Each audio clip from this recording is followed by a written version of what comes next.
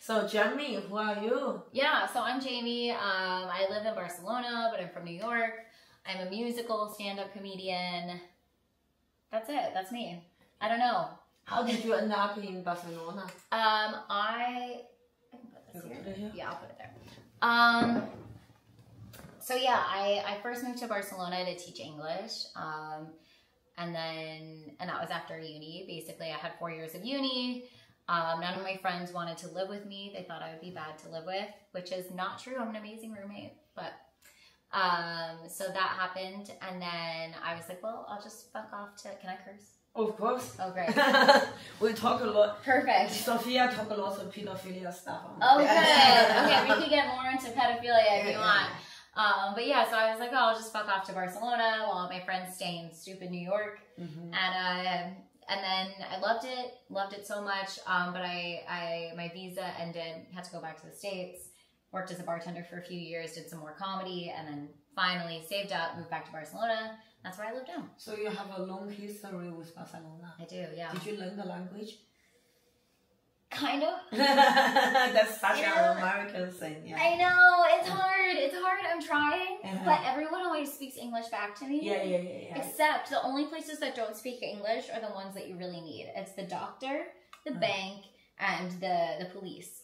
Uh-huh. They don't speak English. Everyone else does. uh-huh. So like I can order a coffee in Spanish, but the, but then I have to go to the gynecologist and try and understand what she's saying to me. I, I think like Barcelona is really similar to Berlin. Probably. Yeah, uh, Berlin is less tourist, but there's more expat Yeah. community live there, work there. Right. Um, and it's really, really too hard to learn the language. Yeah. Do you speak any German? Uh, I am in, in Germany for, for almost 10 years now. Yeah. I just got the language down. But by down, I mean get all the level, uh, la- levels down, all the course down. Yeah. But uh, that's different than speaking in real life. Exactly. I did some German comedy shows, people can understand me. Oh, But uh, when the whole on stage, I understood shit. So it's, it's really hard and it's, Yeah. it's a multi-year battle. Um, I think the main main obstacle is that we don't have a language environment. If yeah. if I start to fuck a German guy, maybe, but uh, but uh, no. Yeah. Are you learning Romanian? yeah, yeah, yeah. my, my, my boy is Romanian. Yeah. So you can just learn Romanian. sure, who wants to learn Romanian? I know, right? They- they all speak French anyway, right? I don't think so. Does he not speak French? No. He needs to learn. Yeah, yeah. I'm I'm fine. I'm Yeah. fine. I, I mean, you already speak Chinese and English. yeah.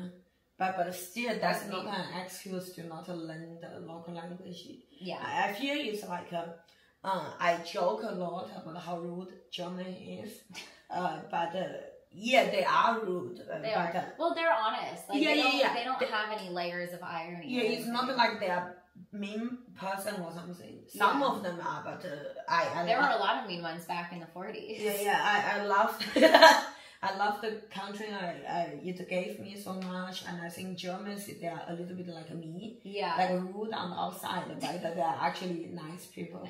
yeah. And uh, um, I I think like uh, it's really like I I I think expats really need to um, learn the language, and and I, I I feel like kind of the locals if if you don't speak the language you can't really complain like you Yeah. get a different treatment it's it's just different you need to communicate i'm not um, like other some other american jewish woman from new york Not me. It's not me. uh, whose name starts with a S. Uh, complain Germans are so rude and they don't speak English. I'm not like that. I blame no, myself no. for it. Yeah, yeah, yeah. No, I agree. I think it's like I want to speak Spanish. Like Mm-hmm. I moved there so that I would speak multiple languages, Uh-huh. and they speak Spanish and they speak Catalan, Uh-huh. and I can speak enough. Like I get by. I would Mhm. pass the citizenship test if I had to take it, Mhm. but I just like no one wants to. No one speaks it. Like Yeah. I'll go to order a coffee, and then someone will say, "Oh, here, he." Uh, here's the coffee in a German accent Uh-huh. in Barcelona. I'm like, German accent? yeah, there's a lot of Germans living in Barcelona. Oh, wow. Um, have you thought about move to other uh, Spain Spanish city for a while to just get it done? It would be a good idea. Like if I went for like three months to like Valencia or something, I could probably. And also, Spanish. there's more motivation to learn Spanish because it's a more widely speak language Yeah, and it's more sexy. that's true. Unlike German. That's true. Español es muy caliente. yeah, It's you sexy. probably can get laid more. Yeah, a little. I do. You know, it's fun. I don't know if this happens to you, but when I'm flyering people in Edinburgh, sometimes, actually today, there was a couple from Tenerife, or Tenerife. Um, and I was like, oh, vivo in Barcelona. And then I talked to them in Spanish, and I get Uh-huh. really impressed. Yeah, it's just so cultural. Yesterday, I ran into some German folks. I Yeah. said a few sentences and they walk away. That's Yeah. the most German shit ever, though. Yeah. Oh, do you speak the language? I can't do. I can't do accents. Me neither, me neither. So, um, uh, back to the main topic. What issue you have? what are your problems? Yeah. So is this therapy? Do I get? Are you therapizing me? Yeah, Are you get, paying me? Depends on. I'll pay you in of laughter. course, you won't pay me. I'm Um, a woman. No, I'll pay you, but just only seventy cents to the dollar. You know. um, my issues. I so I'm pretty sure that all my issues stemmed from undiagnosed ADHD. Mhm. which is very common in the ADHD community because none of us have time to go get diagnosed. Uh-huh. Um, so I've been like kind of like I've had a lot of therapy. Uh, my early therapist said that I just feel big feelings a lot. And I was like, Am I bipolar? And they're like, I don't think so. Mhm. I think you just feel big feelings. Um, and so I eventually got a psychiatrist and he gave me Lexapro as like a first try, which is What's an, that? it's an SSRI Okay, Um, that, that's antidepressant. antidepressant. Um, he just, I told him what my sort of day to day was. I was dealing with um, crying a lot during, it was COVID. And anytime I had my PMS, like before my period, I'd get extremely, extremely emotional and just like break down crying. And I had to call out of work one day because I just couldn't stop crying. And I was like, I don't know why. So I told the psychiatrist this, and he said, let's just get you on a baseline antidepressant. And how old were you? This was I must have been twenty seven or twenty eight. Must have And been. how old are you now? And now I'm thirty one. So it's like four years ago. Yeah, Mhm. yeah, yeah, three to four years. Yeah, um, yeah, about four years ago actually. Yeah, twenty twenty, fall twenty twenty. Yeah. Mm-hmm. Um, and I've been taking it ever since. I don't think it's perfect. It helps just kind of. He said it'll help quiet things. Like I have a lot of anxiety. Mm-hmm. and it all it all kind of like rolls together and manifests as like anxiety depression adhd and it becomes this cycle where it's like i have a lot of thoughts sometimes those thoughts are bad that causes depression right um, and so it's actually what i'm learning probably the adhd causing a lot of thoughts but in that way it can masquerade as either anxiety or, or depression and so the lexapro kind of helps the symptom but not the cause so it, it helps but I still have. I, I need to go. I'm, I'm planning to go when I'm back in Barcelona. But how do you know you have undiagnosed ADHD? um, I have basically every symptom. Mhm. So Since when you start to suspect? A few, a few years. Yeah, the TikTok thing. No, really? I, You got from TikTok? no, I, I I hate TikTok. I don't Yeah, use me, it. I also don't use it. Yeah, because it, it For makes me lazy. Why don't you use it?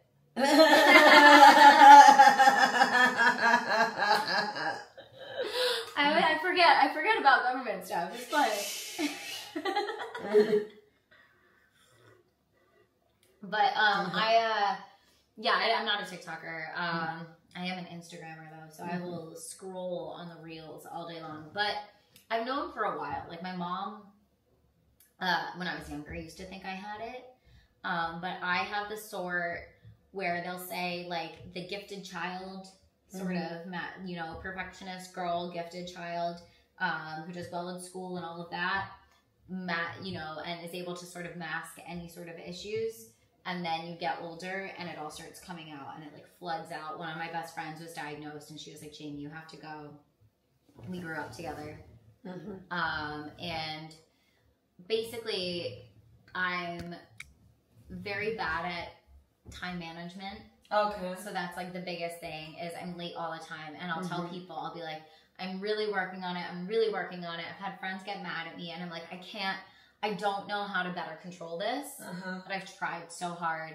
I get really bad like morning anxiety, which which uh, has been connected to ADHD, just trouble getting out of bed and being a Mhm. night person, Mhm. um, and like when you stay up late. Mhm.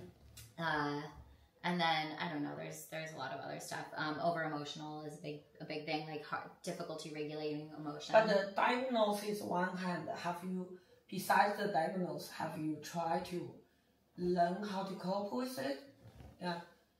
yeah, I'm figuring out ways. Like, um, I'm in a I'm in a WhatsApp group of girls with ADHD. Mhm. About half of them are not diagnosed either. Mhm. um, and we all will be like, someone will be like, oh, like this this thing. Like I the other day was like, I'm really having trouble getting out of bed. I can't Mm.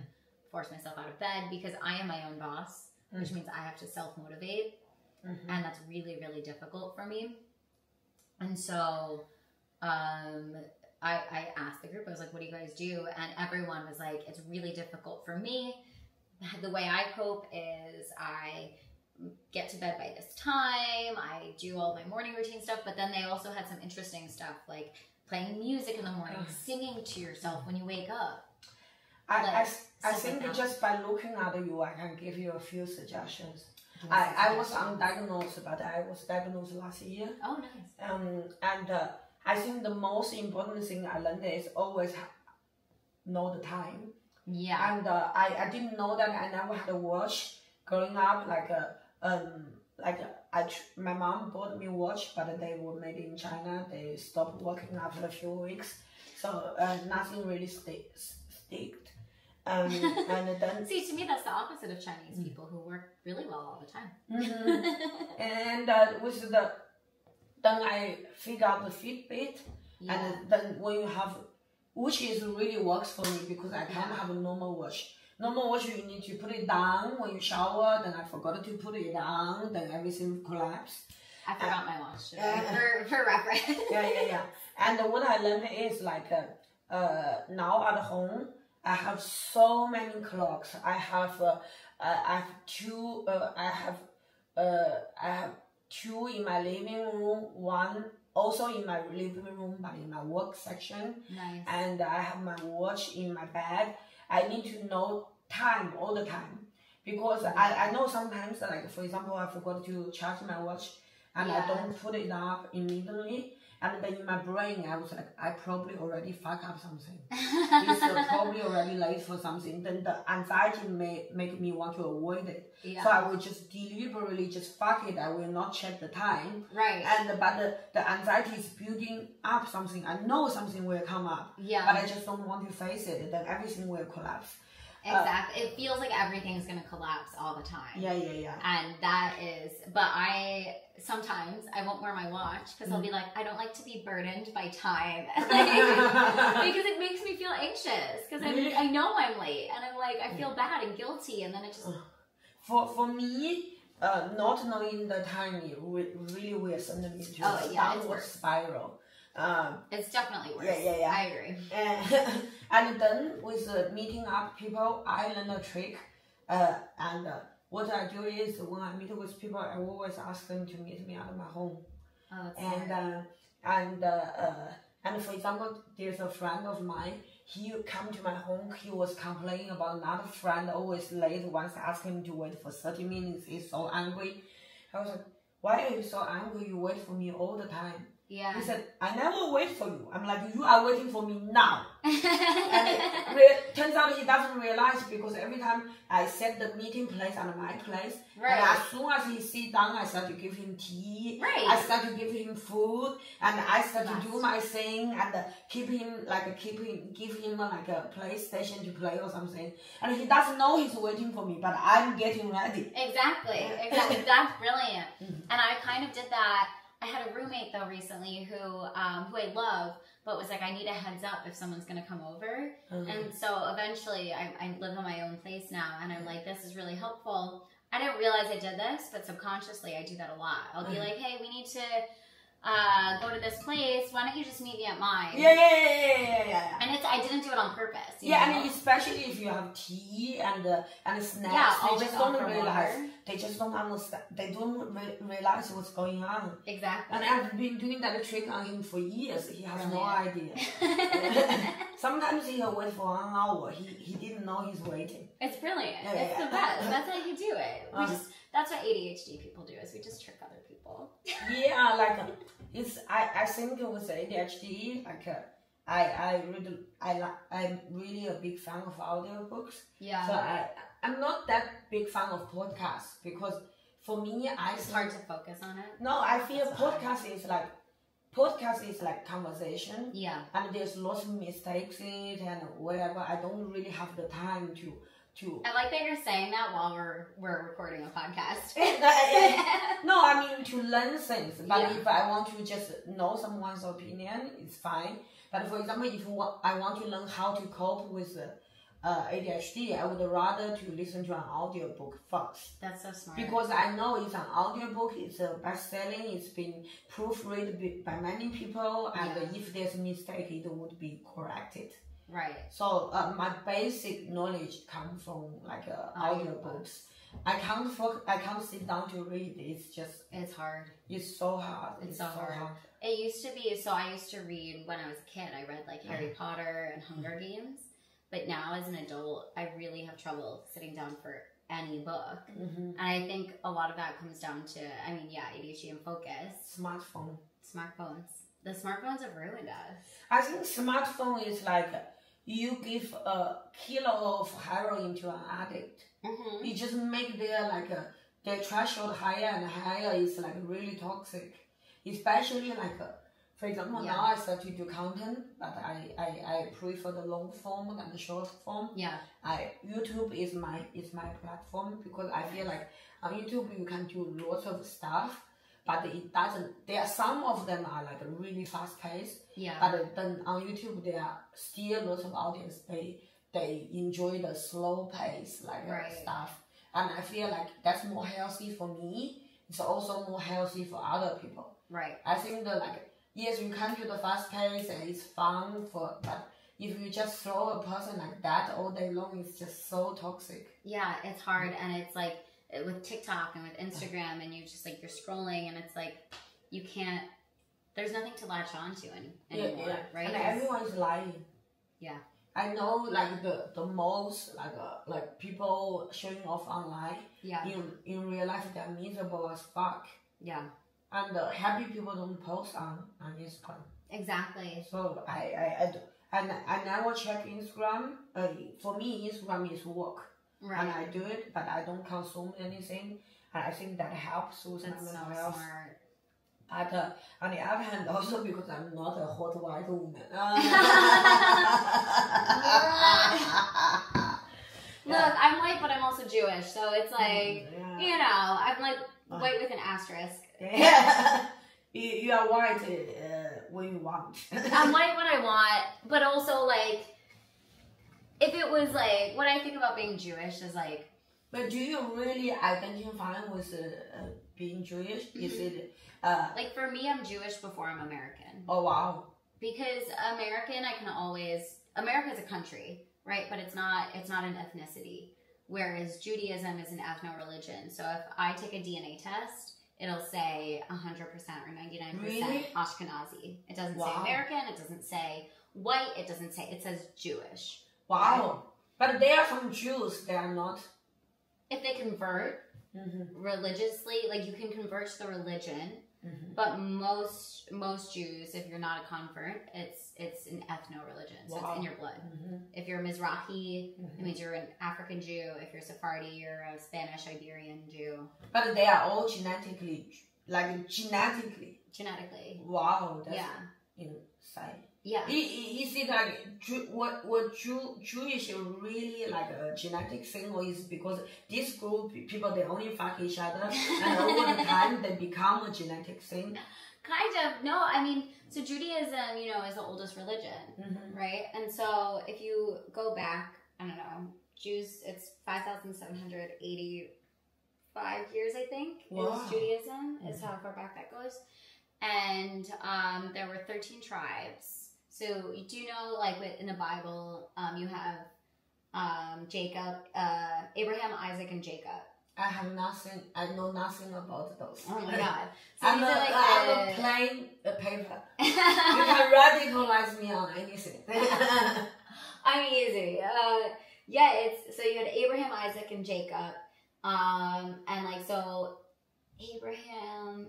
They're like they they went into the different sects of of what happened, right? So Muslims came from Isaac, right, and then something else. I don't know. One person. Yeah, so each each of these three, the bro- these three brothers, they each created three different um, Abrahamic religions. One of which is Judaism. Uh-huh.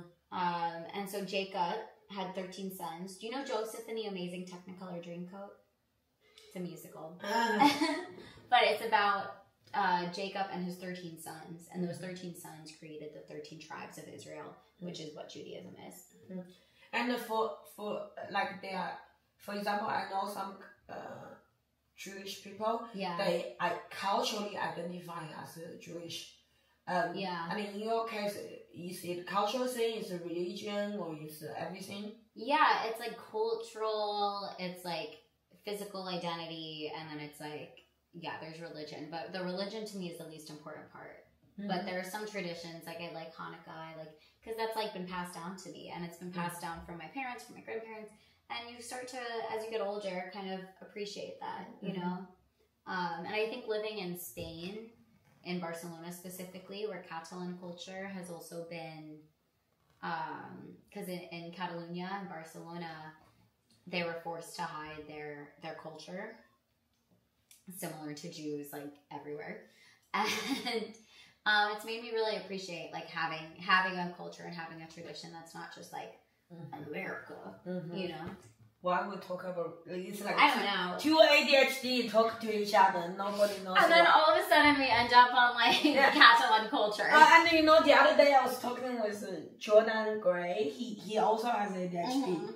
and I was making a conclusion uh, thing for the end, and Yeah. then half sentence I said, I forgot why I said this. I. I was like, I was like, I was like, why I'm saying this? Okay, I, I So forget that. Jordan was is living with me for a bit, like in my apartment Uh, now here. in Barcelona. Uh-huh. So he has my spare bedroom right now.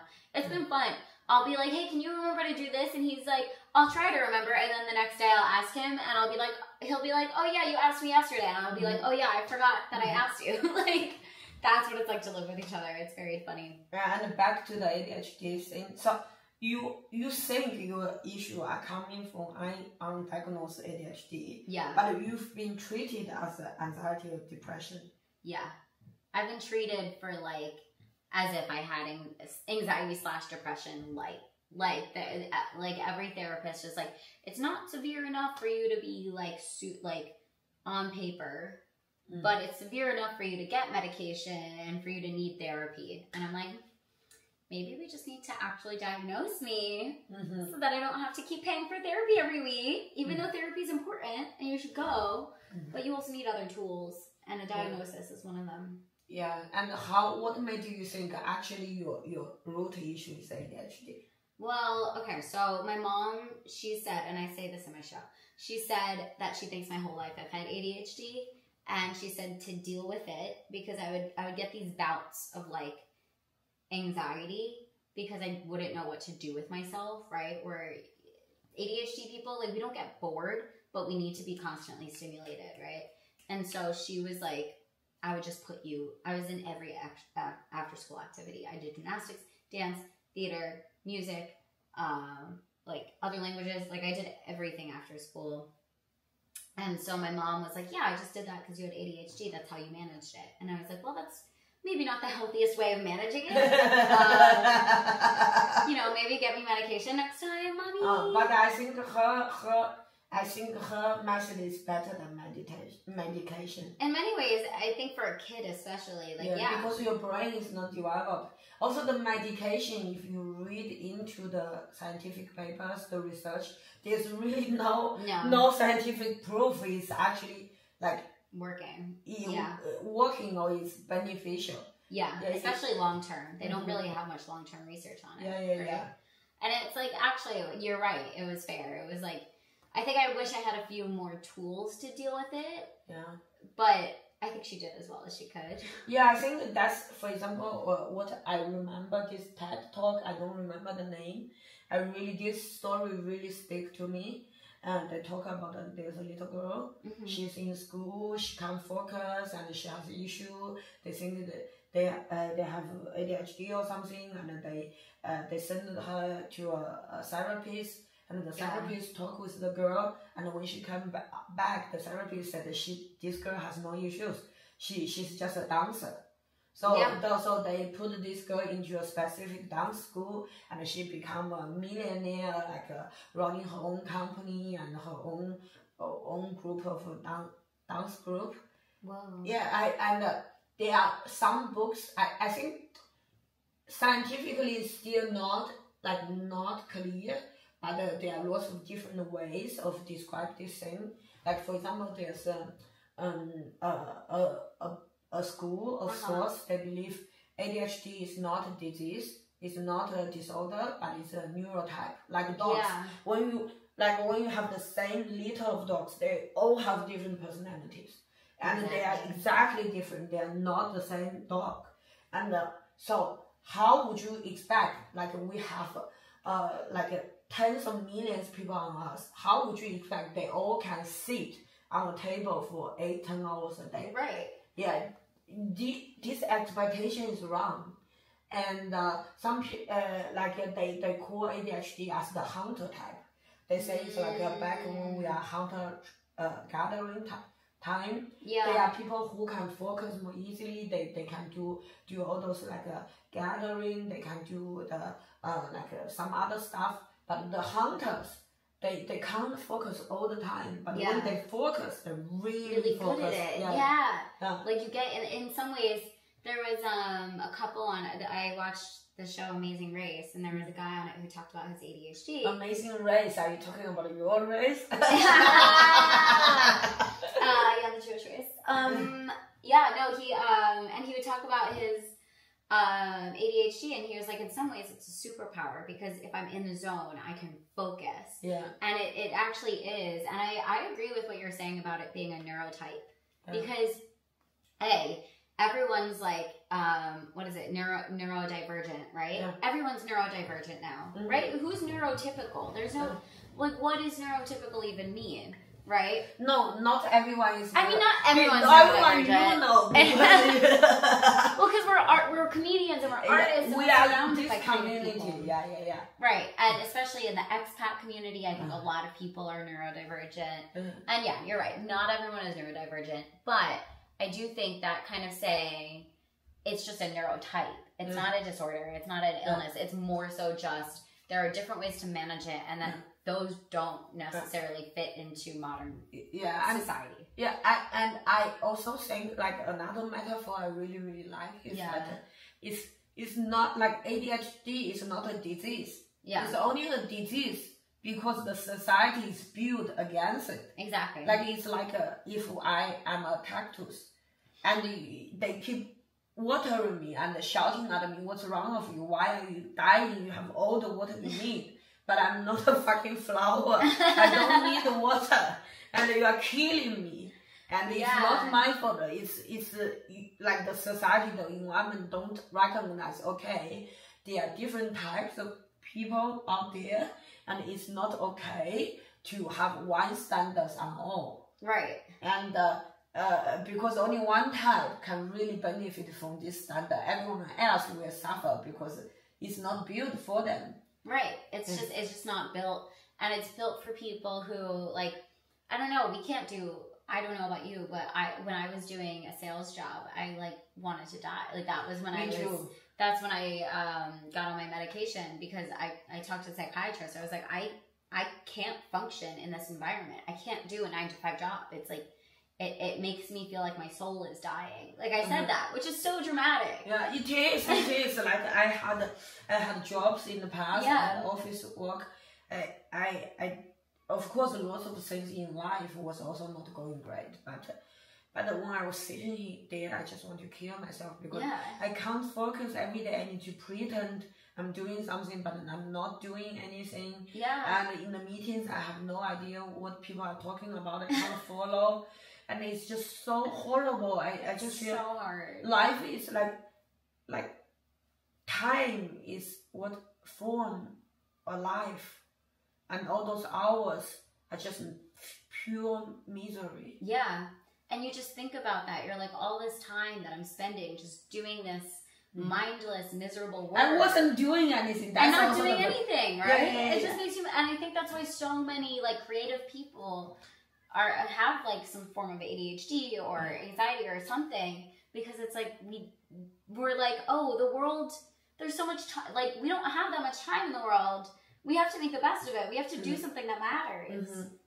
Even if the thing that matters is just making people laugh about butts, you know. yeah, yeah, yeah, but at least people laugh yeah. yeah and the one i was uh, when i doing my office job i just didn't find i was paid so well Yeah. but I just don't find any meaning in it because I Right. feel everyone around me is bullshitting. I am bullshitting. I feel nobody is understanding what they are doing, and I don't know if this thing is benefiting to anyone in this world. Exactly. And I am like, what's the point of everything? Yeah, and you But start, yeah, yeah, you get very existential and very Mhm. like because I was um so I was selling restaurants. I was selling websites to restaurants. That was my sales job, and it was during COVID, and I started selling online ordering, which restaurants needed, right? But at the same time, I was making money off of restaurants Mhm. that let's Um, move a bit here. The light is better. No, the light light is better Oh. this way. Um, but yeah, at the same time, I was like making money off of restaurants that needed money, and Yeah. so I was feeling this like extreme guilt, Mhm. and I was just like, this is not, this doesn't make sense. Like, Yeah. why, why am I wasting my time doing this? Why am I? I felt like I was stealing money. Did you go to college? Yeah, And what did you study? I studied educational theater. wow, Why? wow. Not a Then- real major. Then you are not mean to have an office job if you study that. Well, I studied that, right? So I didn't want to have an office job. Uh-huh. But my major, I felt like I left knowing half theater and half education and not being qualified to be a teacher or to do theater or to teach theater. And so, but that's what I wanted to do. Um, and the jobs that my major prepared truly prepared me for would not pay enough to live in New York City. Yeah, yeah. Like for my case, I understand why I did the office job because I started business. Mm, So there's no choice. yeah. Uh, and uh, oh, so so you quit your job? I quit my job. I became a writer. Was it hard for the transition? Yeah. I Did did. you a woman get a new titties? Look, I became a woman when I was 13. That's what we do in the Jewish religion. Really? fun. Yeah. What do you did? Uh, we have a bat mitzvah. Do you know about the But bar they, they cut the foreskin. yeah, but that's when you're a baby. And well, doing the podcast, uh, Donna is here. hey. And now they're all going to be like, well, why is he not on the podcast? Talking about cutting foreskins, Yeah, do you have mental illness? Hmm? Do you have mental illness? mental illness. Yeah. That's what Well- the podcast is about. Oh, okay. No, I'm afraid I have one of those. I haven't gone to the doctors to get my diagnosed mental illness. What, Oh. What's your diagnosis? Well, I'm fairly sure I'm on neurodiverse in some way. You met me? yeah, have you met uh, No. Yeah, he, he is a children's entertainer. You're a children's entertainer? Yes. That's Yeah. crazy. Look how much he look like a pedophile. No, he does That's science show really funny. Uh, Oh, cool. Wait, do you know um do you know Ben Miller? He's a science comedian. I literally went to see Ben. So I know Ben from just uh, the Fringe for some reason, but he Yeah. ended up doing show. But I went to see his show Volcano the other day. oh, what'd you think? Yeah, I liked it because so his show was on at one, and it Yeah. clashes with mine.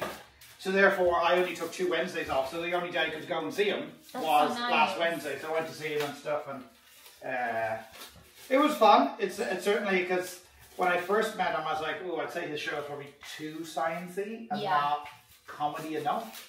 but he's really good at balancing making like from dad jokes to actually kind of like, oh, I get that as a scientist. you Yeah, know? yeah. Uh, but making it still, I think, relatively accessible as well, and using PowerPoint stuff because I, I, I generally I do stand up as well, Mm-hmm. but I don't really do much of it more anymore. But I'm thinking like I would do a similar sort of. I also PowerPoint want to use and- more PowerPoint. You should. Yeah, Um, Moni, that's it. I was just saying, so you need to do more shows. I think you're just not doing enough. Because I think, you know, if as long as you have at least one other space for one other comedy, like you take the other 1499 comedy shows, and then I do my children's show, and then it's still technically the fringe. That's perfect. Yeah. You know what? I I have seen you at PG Hits I would have done a PG, uh, not here, but I would have done, in Brighton. maybe I would have done a Brighton one, yeah, or I've Last done year, shows yeah. in Australia if you've been, I haven't no. been Well, it might have been, maybe last year, yeah. I Yeah, might have done last year I for was- Oh, Ollie. or maybe other comedian who look like a potato. Oh wow, wow! Now because you're live streaming, I'm not allowed to say what you look like because then I get cancelled. Oh, today I said a joke on the depression versus Yes. anxiety. Nobody laughed. what? What was the joke? It's uh, it's like I have an actual comedian arrived. He's from India, so I need to find a way to introduce him because Yeah. uh, he's an actual uh, person. So I said, I said, oh, you two, two, uh, good news, bad news. What do you want? Audience said bad news. I said, oh, I have a comedian. He woke up this morning. He looked into his hands. He realized he's brown. so he had a panic attack. the Indian guy he laughed so hard, but nobody else. I think that's funny. I, I missed the first one. He he he woke up this morning. So I so he Yeah. he's an extra act on my show. I need to explain what's going yeah. on.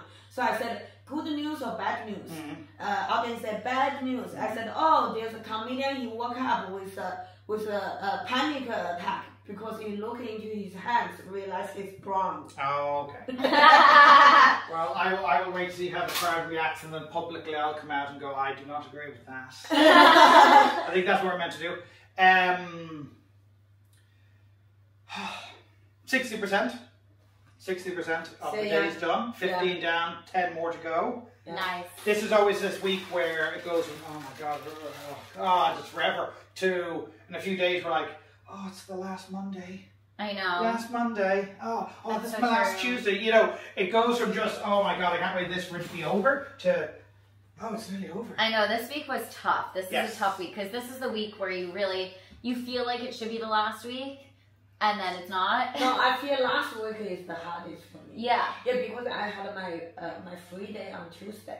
Yeah. So once Tuesday is done first, I'm relaxed, I'm refreshed. yeah. But also, once that day is done, it's half done. Yeah.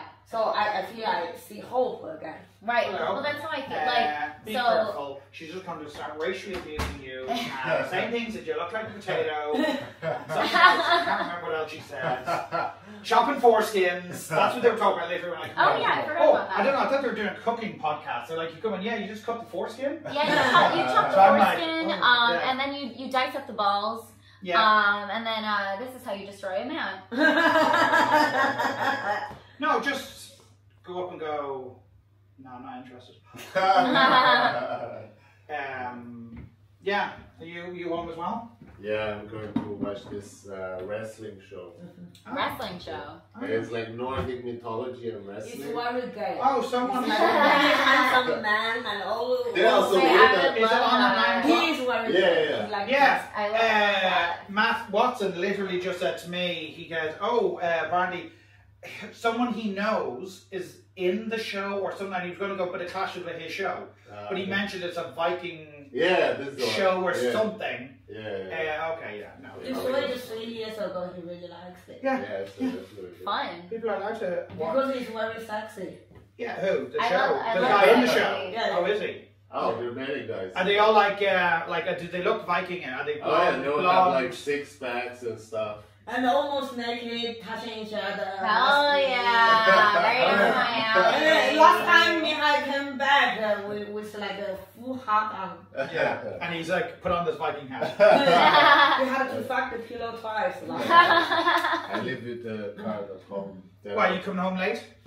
Oh no, you need to go. Are you going back out as well? No, I stay. The Are you podcast. We have a Yeah, but are you going out later tonight? Yeah, but then he meet me somewhere. Okay. Yeah. Yeah. But I'll meet you after Black Widow. What am I doing tonight? I don't even know. Cool, cool, cool. is How do you you keep leave? track I'm of- still in the podcast. uh, Yeah, we're still took doing the vape with podcast, guys. Wanna make We're my pizza? distracted. I'm I gonna go took, my I room. took the vape with me. Yeah, yeah, yeah. Oh, I'm doing a 9.15 show. Then I'm seeing Stamptown at 11.15. What's that? You Stamptown? made the show. You don't know Yeah, Stamptown? like- Honey, you have to learn Stamptown. What's that? It's um oh my god, it's the most amazing. It's the do you know like Zach Zucker or any of it? It's like an alt comedy cabaret variety clown. Uh huh. It's amazing. What time is it? Eleven fifteen. Oh, I might be able to see it. Yeah, Yeah. eleven fifteen. See if it's not. I think it's Are you going tonight? weekend. I'm going tonight. Uh huh. Do you have a ticket? I think it's sold out. Oh, okay, okay. Yeah, I have I have tickets, but Such a show. uh, yeah, it's sold out. You can't come. you know what show also sold out? Black Widows. Okay. Black Widows is sold out. Uh, Black, Black Widow Widows. is How's it going? it's sold out almost every day, but Right. it's not much achievement. It's thirty people room, and I know. and the Laughing Horse they always have the most insane room count. Are you doing with Laughing weird. This year I'm with PBH. Uh, But- do you recommend PBH? I like it. I like it. Uh, I, the Wee Blue book has really gotten people in. Like you know the book that they Yeah, yeah. are obsessed with. It actually works. Uh-huh. Like I have, I've had a full room almost. Like at least for my solo show. But I heard you can't do reservation. Is that true? I can't have reservations, Yeah, yeah, which is annoying. Yeah, It's yeah. it's that's the toughest part. Mhm. But I don't know. It's still like good. Like Uh-huh. you know, if you get the people, it doesn't really yeah, matter. yeah, yeah, yeah. So I, I, uh, what I was, why I talk about, yeah, I think it's like they have insane room count. Like for example, the I'm doing you were there, Yeah. like all those such a small room. They say the capacity is thirty. And yesterday I had twenty less than twenty seven people. I had two people sit on the on the on the sound table. Yeah. It's- They like make it up. They're like it fits fifty and really it fits thirty or it and do fits, you know. remember last year I did at the bar fifty? Yeah, yeah, that And room was that great. room was sixty people capacity, right? Right. This year they they switched the chair. Uh, instead of facing that way, now Uh-huh. they're fa- facing the left, oh, right? And now they say it's 80 people capacity. Fucking insane. That's crazy. that is insane. yeah. How come you did it in City Cafe this year? They put me there. I don't have any choice. No. Yeah. I know it sucks. I wish we had more choice in the venues, like especially Once if you've you been doing it.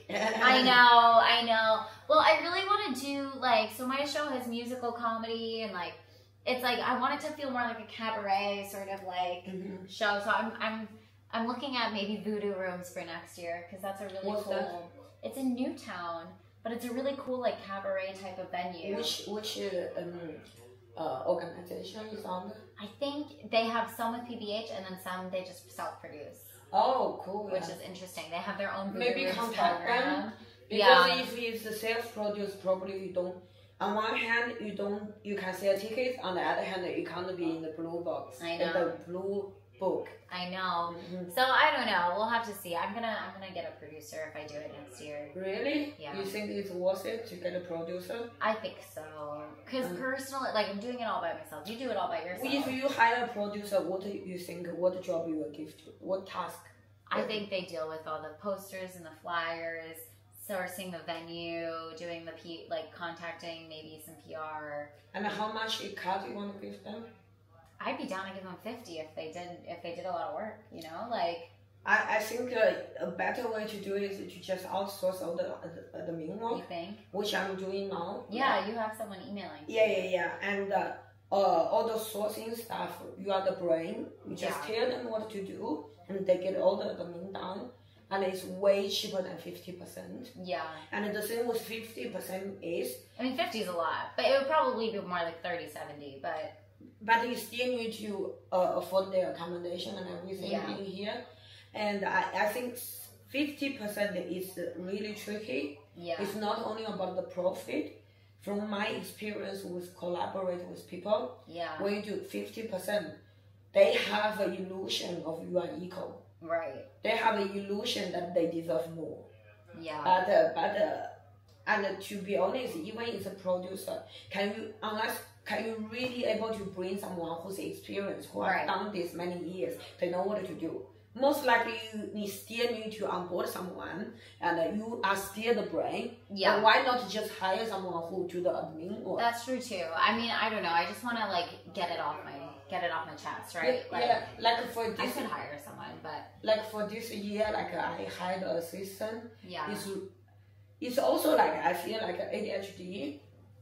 Uh, the the diagnose is big part of it. yeah, It's not about the medi- medication. For example, I I paid to get the diagnosis because I want to try out the the Adderall. But turns out Adderall Right. is not legal in Germany, really. so they gave me something else, and I really don't like what it. did they give you? It's like like the same component, but they don't really produce. It's not when you Yeah. take it, it will your body will like make it into the same component. Right, it's- but it's not like meth. Yeah, but you but it's like a slow releasing, so you don't get it that high. Anyway, Yeah. I don't like it. I don't like it. Yeah, So, um, but the diagnosis itself is big. It's because once you are diagnosed, you oh, actually you also don't need it. But once you really learn, okay, this is ADHD. yeah, Um, then there are so many books and resources out there to really Yeah. help you. Uh, and the, the I think the the the toolbox is way more important than the medication because the Yeah. ad- medication really there's no scientific support to it. If you look deeper on anxiety, uh, like a um, anxiety, uh, like a, a depression medication, it's really by chance they want Yeah. to, and nobody well, knows and why. they say that it's like medication doesn't solve anything, Mm. right? Or everything. What it does is it's it's like a crutch. It's like it, Mm. it helps. So it's like you still need the toolbox. You still need to do the other stuff. You know what I think is like that? It's like uh, you have a pot of boiling water, yeah. and it's going to like a uh, like a boil out, like a flow out, hmm and uh, you you start to throw cold water in, Right. and it will get quiet for a while, and you can throw more cold water, but eventually you need to turn off the stove, Right. and uh, and uh, and also like so many good metaphors. I, I like metaphors because without metaphor I don't understand things. hmm I need to find a metaphor to Yeah. for me to understand This is why you're good at comedy. yeah, Because comedy is just all metaphors. yeah, that's true. That's true. uh, yeah, my my tittism is a metaphor for for freedom. Whenever someone licks it, they're like, ah, I taste the Liberty Bell. Nobody said that. Not yet. not yet, not yet. So I, for example, like uh, I, I read quite a few books. Uh, also, when I got diagnosed, that doctor also recommended me a book. So, uh, for example, there's this book called Faster Than Normal. hmm He believes, uh, he also doesn't believe ADHD is a disease. He believes it's a neurotype, Uh-huh. and he has a metaphor is that, uh, that for people with ADHD, it's not like we're broken, Yeah. we're deficit. It's not a deficit, it's an attention overload. Yeah. Yeah, it's like we have too much attention, we can't control it. It's not like we, we're broken, but it's like we are a, a Ferrari. We are Yeah. the, the best race car right there, but Yeah. uh, but the, the world around us is a crowded market, Yeah. and we are not equipped with the right brakes. For sure. Like, do you ever notice? Like, I do this when I'm uh when I when I go to a new city or something, or if I'm in a new place. I tend to actually get quieter because I'm just taking in everything that's happening around me. I'm like, oh, there's a building here, there's someone talking here, there's these people here, there's this food here, there's all of this stuff, and I just can't like someone trying to have a conversation with me, and I'm just like, I no no no, like I'm, I just need to like look, you know. I don't know if you have that experience, but I get very um, overloaded. Oh, I don't have that experience because uh, I wasn't well traveled, unlike some white women from York. Okay, Miss, I live in Berlin. but you know, you know, like uh, uh, this is actually something I want to explore more. Yeah. I think now I'm able to express. I, I wasn't well traveled, but uh, back then my pre-comedy days, like then you meet so many normal people, Yeah. and those normal people are so boring. Every time we start a conversation, instead say, "Hey, you have a nice titties. Did you just get a transition surgery or something fun?" They would always ask, "Oh, how's your family?" I was like, Yeah, good. I don't know. broken. and they would, are you are you are you traveled? Where did you go? Not much place. Why? Poverty. Why, bitch? yeah, duh. Like, And, uh, and, and, and now thinking back, and back then, of course, I feel ashamed. I feel like a, uh, like the, this urge to, to lie, uh, and I feel I have to hide it. yeah. But now I'm looking back, I realize it's them being really rude and ignorant Yeah. because they have a normal life and they assume everyone have that, and they ask such of privileged questions. Oh yeah. Are you gonna have kids? Are you? Oh my god, that's the biggest one. Is like the kids question that everybody asks. But I think that Which one. is, it's different about do you want kids? That's a different question than like, oh, what are your plans for having kids? Like people sometimes so boring. So Yeah. boring. Yeah. Yeah, and and and with this uh, traveling question, I'm like Yeah. now looking back, I was like, this is so rude. Yeah. You can't assume everyone has money, and then when and you ask some question, and as a person I didn't invite this, I have to answer. Like, and my answer, if I'm not well traveled, I have to answer in a way that uh, uh, now you are on top. Now you are like I'm like I'm not as good as you. And then what's worse is they would ask why. Right, and it's like, well, because I don't have money. Yeah, and uh, we are just having a friendly conversation why you have to corner me to a place Yeah. to, for me to admit, okay, you are richer, you are better, I, I don't have the privilege and I have to explain myself, put myself in shame. Yeah. And I, I feel that's, now looking That's back, so unfair. yeah, now looking back, I just feel, oh, this is such ignorance. It is. Yeah. I think like, well, how did you end up in Berlin? I, I, I got my education in Netherlands, then I uh, got my master in Germany, then I found an internship in Berlin, and I just stayed. Nice. Uh, Berlin, Berlin really, really, I, I don't know, you know, I, I said this many times, before comedy, I'm a different person. Yeah. Uh, unlike you, you are like the rich girl who can go to all kinds of activities growing up. No. Yeah, But, no. but in my case, it's like we grew up with extreme poverty, yeah. and uh, education is the only way uh, for me to change my life. And then I, I, my family really put out everything. My, my mom put out everything, like almost her life to support Yeah. this education. And uh, then, but growing up, I just have the, like on one hand, like I just have this feeling that I'm. I really believe that I'm not smart. I believe that I'm stupid. no. I believe that I'm average. I believe I, I'm like ordinary. so smart. Now, pre comedy time. Pre comedy time is that, like, uh, and uh, like, my mom told me, you are not talented, you are not creative, and uh, your only way out in life is through hard working. But now looking back, I realized I was just permanently placed in a wrong environment. Yeah. Uh, I am a feisty person, but I will grow up in an environment that uh, they they really want to grow uh, obedient workers. Right. Uh, the Chi- you grew up in China? Hmm Yeah. and on top of that, when you are from the bottom of the society, when you are from a broken home, when your mom is handicapped, when you are a girl, and this just like compound on it, and uh, like not only they expect everyone to be obedient, but you have to be extra obedient because all those things. And I just don't have that in me. Like No. uh, I like I, I spoke out and loud and I got like so much attack and I was like bullied, beaten and like physically and by by the by the teacher like a, a mental torture, uh, public humiliation.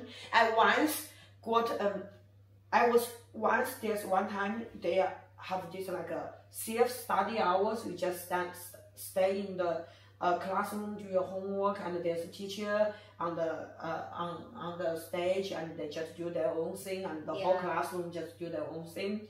And there's one time I really wanted to pee, hmm but in China you can't go pee without the permission of the teacher. So insane. But everyone is study and is quiet, and I try to indicate to the teacher she didn't look at me, right. and I really really want to pee. So at the end, I just sneak out from the back door and I want to pee. And when I back, I realize the door is locked. They realize I'm gone, and they lock the door, so force me to go from the front door. And then she humiliated me in front of the whole classroom, and I have to write a public con- Oh uh, like a public uh, how do you say uh, confrontation or no Yeah, like a like I, I know what you mean. yeah like to blame myself oh i'm wrong i'm a bad person or whatever to read it in front of the class i refuse to do that and they just attack me they involve my family my mom who's living in like really really far away and uh, really she's handicapped she's really busy and they got her into school and to just like uh, ask her to stand without a chair and ask me to stand there for hours and hours just come occasionally yell at me and humiliate me like this lasts for, for a whole day. And uh, and, and they asked me to write this letter i'm like i'm not going to write it it's not my fault No. And, uh, and at the end my mom had to write that for me because there's no way around Yeah, that's so crazy.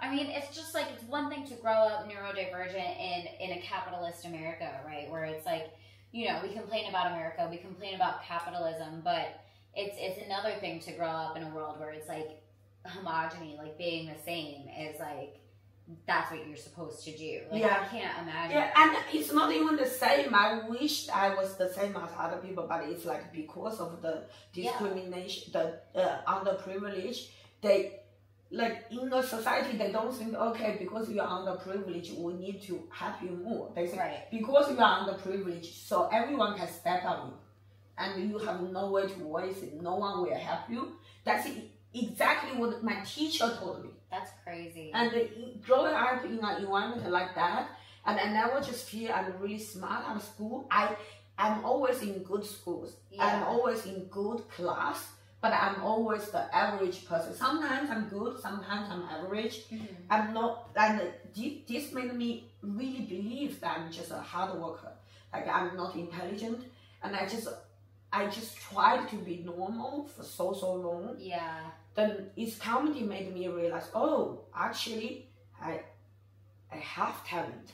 Yeah. And when the first time I did comedy, I just feel this energy all through me, and I feel like it's the first time I can breathe.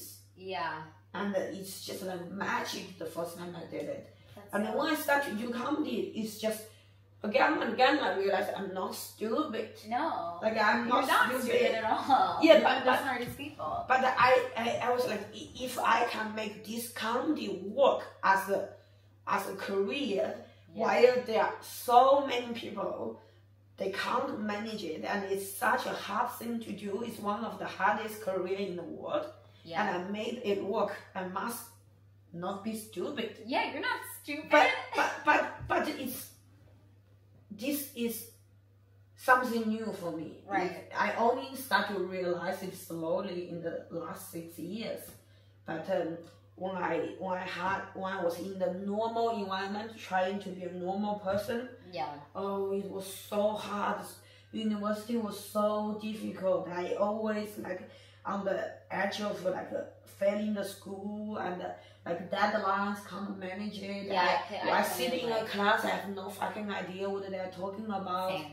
Like I would doodle in class, like I would draw in class, and then teachers would be like, "Why? Why are you doing?" But you need to. Like I needed to have a visual stimulant so that I could process what people were saying, Uh, or else it just doesn't. Like it's just kind of like yeah, it's like what I said. Like the world is not built for us. They assume you are the.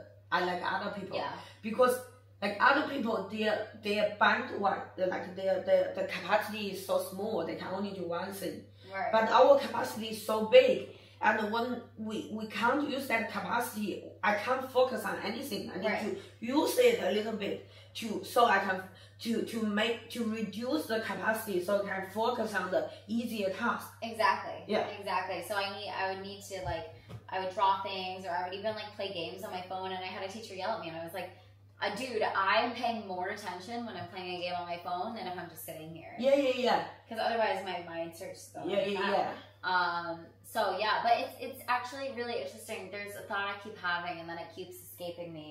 Um Oh my god. Oh, just about like the the society that we're in, right? That we're we're forced to kind of like fit into this you know, the education system isn't made for neurodivergent people. Yeah. Um, so I studied education, right? And Mhm. one of my favorite classes was called Drama for Special Pops, Drama for Mhm. Special Populations. Mhm. And the idea of it was how to teach theater to, um, it was, I, it was technically like for special needs, right? Mhm. But then the first day of class, I never forgot this. The teacher said every single person has some sort of special need, right?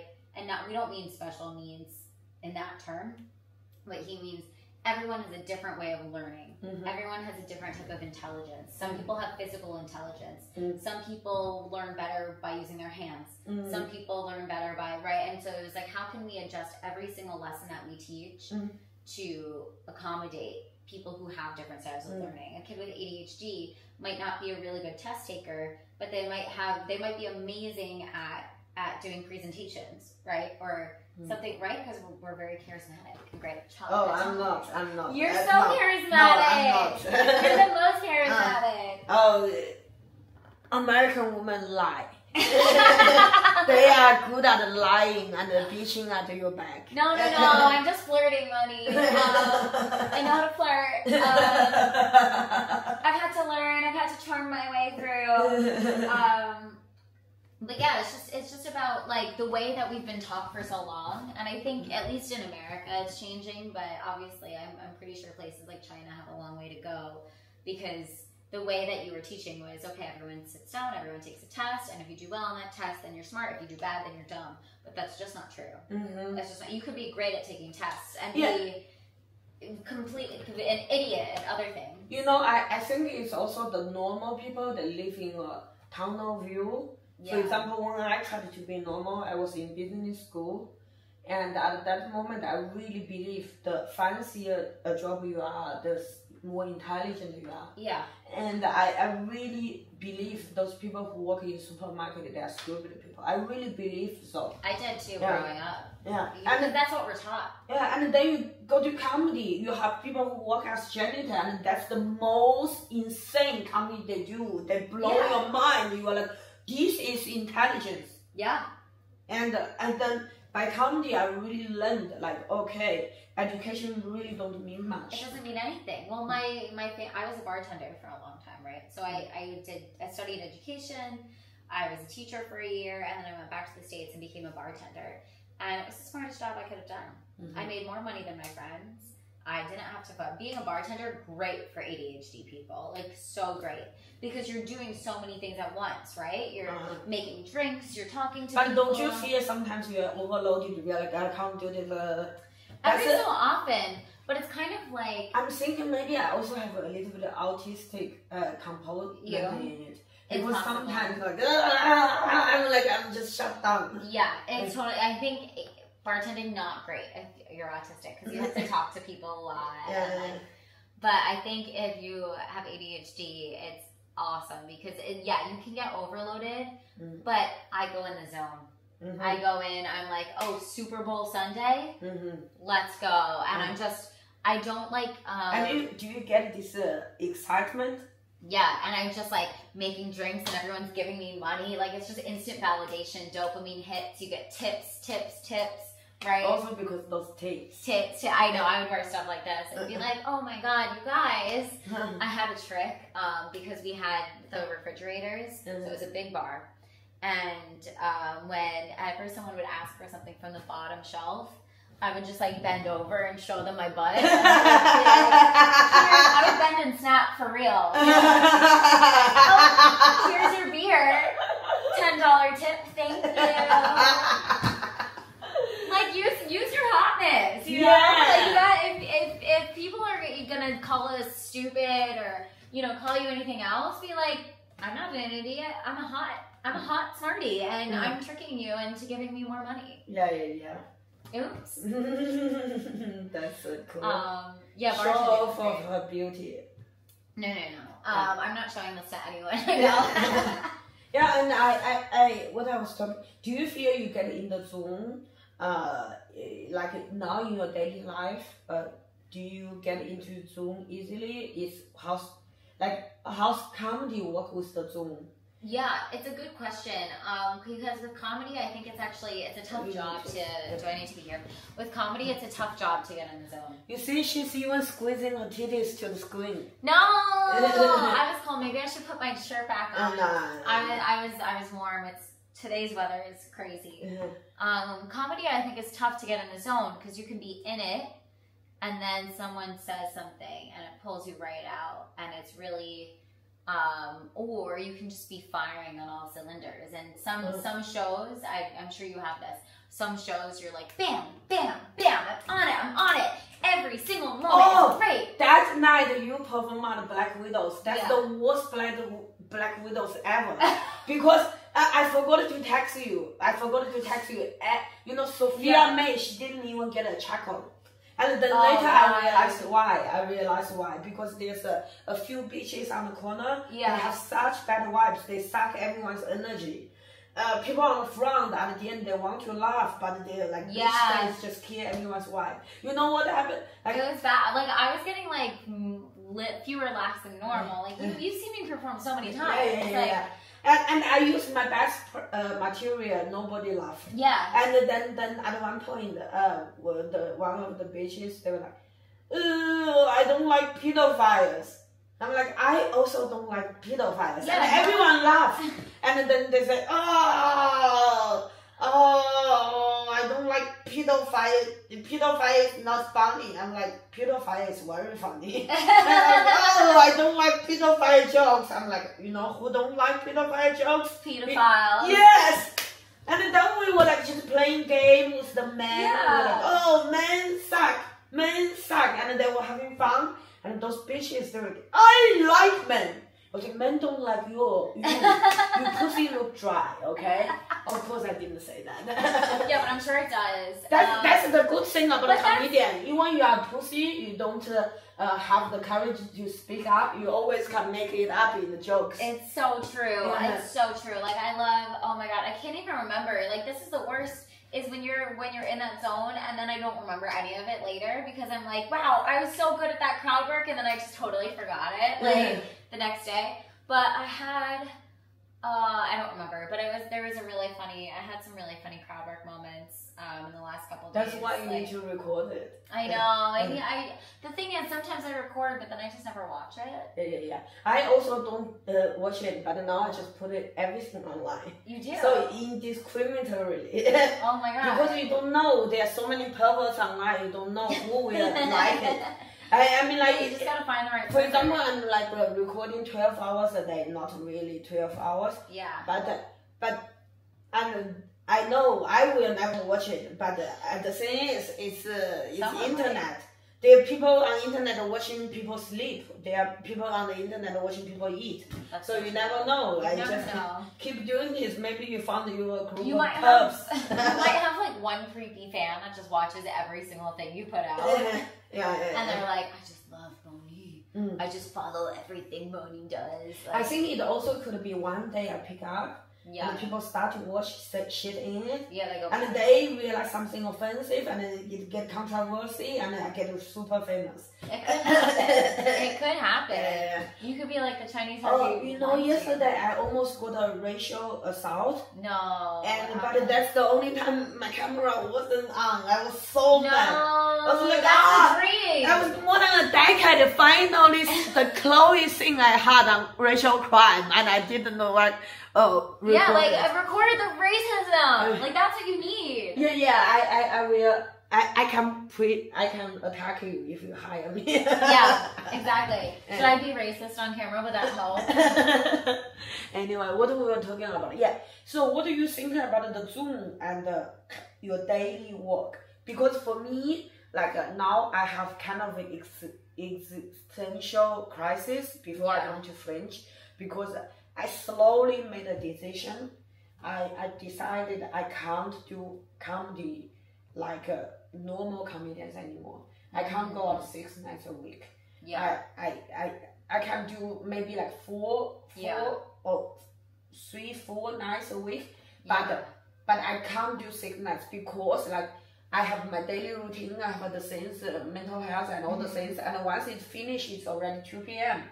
and then I need to leave the house at six. I can't get anything done, Right. and that creates so much stress, anxiety, and and it's really really stressful. When I work, I have to work ten hours. I can Yeah. I need to leave the, the day open. I can't just work two hours and get up do something else. I can't do it. Yeah. I have the same sort of thing where, so my job, I get paid per article now, which is good and bad, right? Because as a freelancer, it's, it's nice to be my own boss and I don't have to be on anyone else's hours. But what's bad is that sometimes, let's say I'll, I'll decide in advance that I'm going to do four articles in a day for my job. And um, sometimes it'll take me a half hour to write an article. Sometimes it will take me three hours.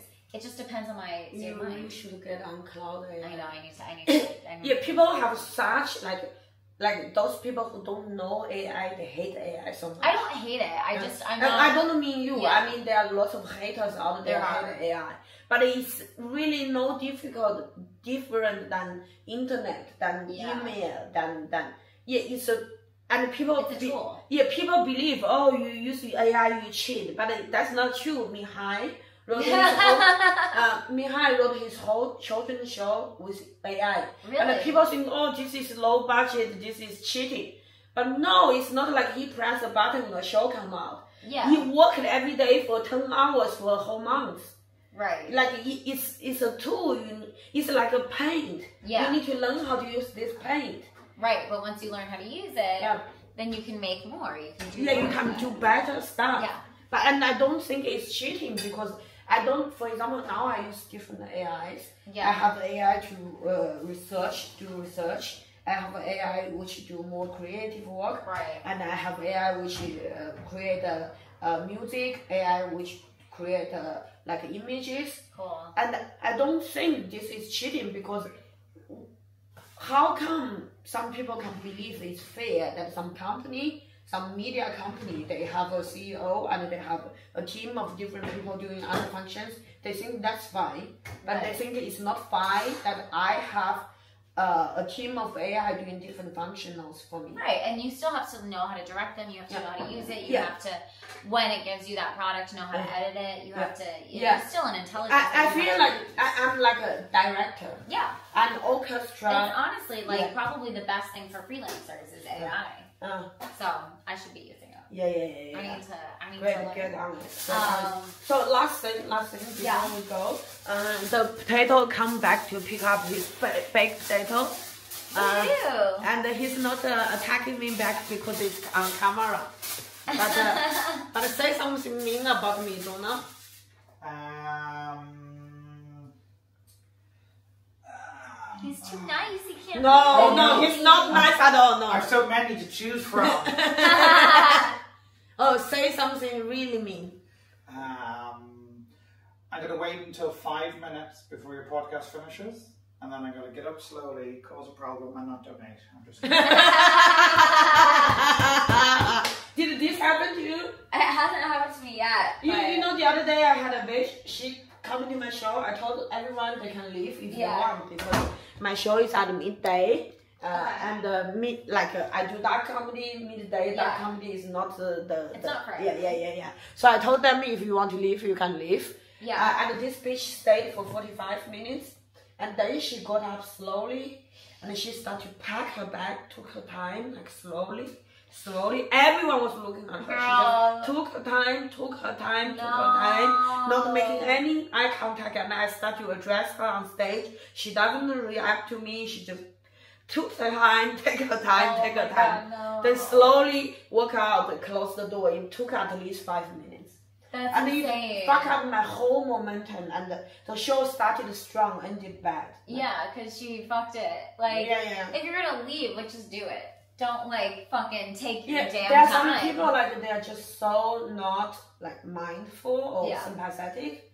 Um, so my last question, my last question Yeah. for you is: Do you feel uh, as a, a person you believe you have ADHD? Do you think? Oh, before that, I want to add another sentence Okay. to this. You said you are undiagnosed ADHD. Yeah. ADHD. I think the diagnosis is important I also so. because it's like I feel like there are so many people out there gaslighting me. Yeah. I when I believe I believe so strong I have ADHD and everyone said if you are not diagnosed you can't do this uh they Yeah. me. I know I said bitch I know I have it and don't treat me as crazy. I don't Yeah, get it's so you- frustrating. Like Yeah. people, and I know I just need to get the diagnosis Mhm. to deal with that, and I know I have it. So it's like, you know Mara's boyfriend has it. Yeah. Uh, yeah, probably you can contact her, she can find someone. well, I have. She she and someone else gave me a. There's a psychiatrist in Barcelona who's dealt with basically every girl in this group, mm-hmm. and um, they've.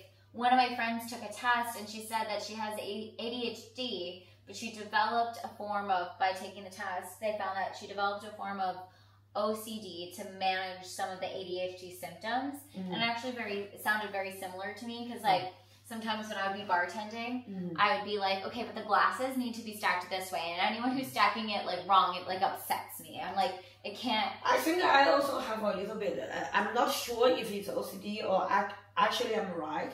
Yeah, But when I manage a show, yeah, when I manage a show, I really feel I'm like, like yeah. it ADHD. needs- everything needs to be Yeah. done just right, Yeah, like yeah, in yeah. the right way. Like, I I'm don't know if it's OCD. I'm so uh, like care carefree. I'm like Yeah. so clumsy. But when I manage a show, my attention is like on all the details. I I really I'm really a good very Yeah. good producer. And uh, you and- are a good producer. and and then like I have some beliefs. I really believe if I do that, the show will be better. But I don't know if it's OCD or I'm right. I'm still Right. figuring I think it you're fine. um, there's nothing wrong with you. Um, I'm just gonna gaslight you. no, I think the uh, the gaslighting thing is like I, I feel like to just it's not I, I, I really know I have ADHD, but Yeah. getting the diagnosis to shut everyone else up. It's Be- so nice. Because they keep saying you you don't know, you're not sure, don't and they were like, I mean, bitch, I know about me because like the I have such a long history of mental illness. The the doctors they try to diagnose me many different things. Yeah. And it's not like I, I say, yes, yes, yes. I really like, it. for example, the bipolar 2 thing, he tried to diagnose me for two years. I said, Yeah. I don't have it, bitch. Right. Mm. No, but because a lot of times people think that people with ADHD, mm. they think it could be bipolar, right? Because you have really high highs and Mm. really low lows, right? Mhm. But the difference is we don't have like weeks long mania. You know, like if if Mm. if we have a high, it's like I feel really good after doing this thing. It's like I've had a hyper focus. Yeah, and it's, it's like not manic. It's I, I, manic. I tell the difference because I have both. and, and the ADHD thing is really, really uh, pleasant, but with the manic phase, you just spend so Yeah. much money. Oh, God. oh God, Yeah, yeah, yeah. no! Yeah, I bought this camera. it's a camera though. Yeah. I think it's the best camera for comedians for sure. yeah, it Because it performs really uh, well in low light, and the, the tripod is so light. And like for example, I have this expensive uh, DSLR uh, fancy camera, Yeah. and I have a fancy uh, tripod, but I touch it twice because Yeah. they're so heavy and it takes ages for me to put it up, and I'm like I just don't bother. But this thing is already on the tripod, and uh, I just it's so easy, and uh, it works really well in low light. It also follows you around. Yeah, it's Yeah. nice. I like it. I might ask you for a link for it. Yeah, yeah, yeah. Um, and and uh, one last thing I want to ask Yes. you: Do you feel, as a person with ADHD at Fringe, do you feel you are you are fulfilling like you are like uh, on top of things? Do you feel you are getting into the zone? Do you think you are like uh, realizing your potential still? Yeah, a little bit. Mm-hmm. It depends. So last year I really felt that. Last year I was like, this is like I love the fringe, like show, show, show. It's just shows all the time, people all the time. Like this is the best, right? This year, a as I've I've kind of recognized AD, that my ADHD more, like especially in the last year. I've started talking about it on stage. I've started like finding ways to manage it. This year I'm being really like mindful to give myself time to separate. Oh, you know what? Next year maybe we can do an ADHD show. We should You know what they do is if you work with PBH, you can't work with Laughing I know. And what they do is they have uh, like some comedians they work as a group, and they have a few people like Regis with PBH, a few people Regis with uh, Laughing Horse, but actually they do all the shows together. Yeah. And uh, like uh, I, I think yeah maybe we can talk next Maybe year. we can do something like that. Yeah. That would be awesome because it's like It would be the most disorganized show ever. Mm. No, we hire an assistant. yeah, we'll use it. We'll use AI. We'll get an assistant. Yeah, We'll be fine. But it's like it's such a thing that. But this year, I'm really like prioritizing my health and saying I need sleep. I need to make sure like I'm sleeping pretty late each day instead of flyering. But you know what? It's not that big of a deal. A lot of my shows have been selling, so it doesn't matter that much. And um, Flyering is really bad ways of using your time. I yeah. I, I, I don't do flyering. For me, it works Mm. because I sit down with people and I talk to them and I get to know them. Yes, but if you think about that, there's also like an opportunity cost. Like Yeah. uh, for example, lots of artists they fly for two two hours yeah. for Yeah, their show and it's packed. I was like, I would rather to have a half empty show, but I do three shows. Yeah, I I I, I would rather I I yeah. In total, I get uh almost the same people, but I have three times stage time. Yeah. I have more practice, and those people are there. They actually want to see the show. That's for, so true. for me also for me it also could be like a because i was rejected my whole life right? so i really don't like rejection uh, and uh, so i just don't want to give people an opportunity to reject me i think you. that's also I understand that for Mm. sure. I mean, I grew up doing theater, so Mm. I got rejected a lot. Like we Mm. did a lot of, and also from family and all of that. But um, the most obvious examples were like I would audition for shows, Mm. I would get rejected, and I would cry. I would be Yeah. like my mom had to really learn how to Mm. teach me like you you're gonna get rejected. Mhm. And I, um, but so now I'm better at handling rejection just because I have for so much, and I had to learn how to handle it. i want to share you do you have time are you running we Uh, are running really late Yeah, I might have to go soon. okay okay uh, so one last question i said that many times That's okay. yeah so i run into something a few days ago really bothers me Yeah. Uh, what it is like I was at the, the park Uh-huh. doing the podcast uh, and I was looking for the podcast guest. Uh-huh. uh, and I was shouting hey Adam Adam. And uh, uh, and then a guy said eh, uh, what are you looking for? I said podcast.